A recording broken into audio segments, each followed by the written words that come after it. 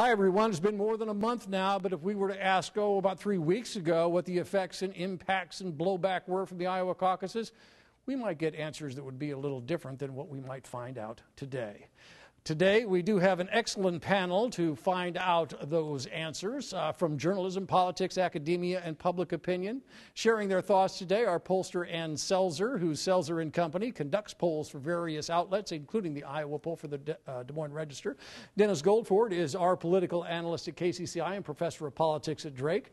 Jennifer Jacobs reports on state government and politics for the Des Moines Register, and Matt Strawn is now the former chair of the Iowa Republican Party. So thank you all for being here today. This is a, a pleasure, I think, for all of us to, uh, to get together and discuss this. And Matt, I'd like to start off with you if I could.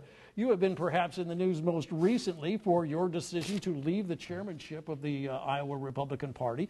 And since the topic is the impact of the caucuses, let me ask you, what was the impact of the caucuses on your decision to leave? Well, I think many folks knew that I was going to evaluate my personal priorities uh, coming off of the caucuses. Uh, we had a great three year run. Uh, 34 straight months of voter registration gains for Republicans, uh, unprecedented victories up and down the ticket in 2010, uh, record breaking fundraising uh, for over three years. So the party's in great shape going forward. So if there's a time for a transition, that time is now. Now, obviously, we had many successes in the caucus season, such as three nationally televised debates that the party co hosted that we had never had before. We had record breaking turnout on caucus night, which now, seeing what has happened in some subsequent state contests, we realize what a big deal that was here in Iowa. But of course, anytime you have to change in the mind of the public's eye and practically who won the Iowa caucuses, certainly there's going to be a lot of criticism regarding how that happened, what reporting processes need to be improved. And at the end of the day, when you're the chairman of the party, you're the guy that gets to stand on stage and take credit when things go well but you're also the guy that is standing on stage and having to answer for those things when they don't go well. So certainly that you know factored into my decision making. Um, all those those other factors Was did. Having, pressure? Was there pressure outside from other people within the party for you to step back? Well, I think everybody has their uh, detractors, but the one thing I can say, I was overwhelmed by the support I, I had from Governor Branstad, Senator Grassley, our legislative leaders, activists around the state, because we've we literally have rebuilt the Republican Party over the last three years into a to just an overwhelming force in this state. So from a transition standpoint, both personally and for the party, it was the right time. Let me switch over to Dennis here. You've literally rewritten the book, Dennis, uh, when it comes to the Iowa caucuses. Uh, so, uh, did this uh, caucus cycle and, and, the results that happened in, in the weeks thereafter uh, affect the status of the caucuses, do you think?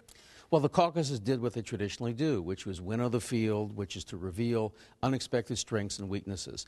I think the fact that there was uncertainty about who the actual winner was really in this particular case, I don't really believe mattered because I think that since Rick Santorum, at least in terms of ongoing polling through December 28th, was mired in single digits, I thought at the time if he were to finish in the top three, uh, let alone second or even first, uh, would be vastly exceeding expectations, which is what the caucuses are all about.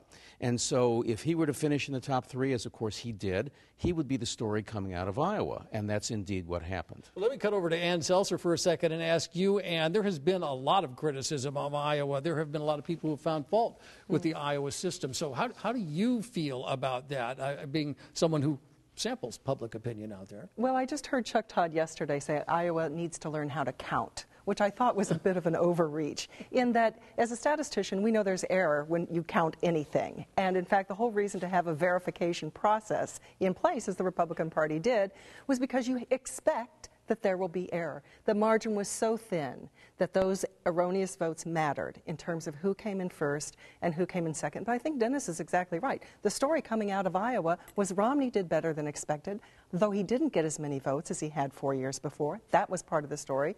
And Rick Santorum's surge, I mean, that's all people were talking about. Mm-hmm. And so he got I think, every bit of the bounce he was going to get. So, in terms of something changing because of the way the vote switched, I don't think so. I want to talk to you more about the Santorum surge because I know you had a lot to say about that in those days right before the caucuses. But let me get Jennifer in here on the conversation as well. And you have just been to CPAC uh, within the past week or so, uh, this, this gathering of, of, Republican activists and campaigns and what.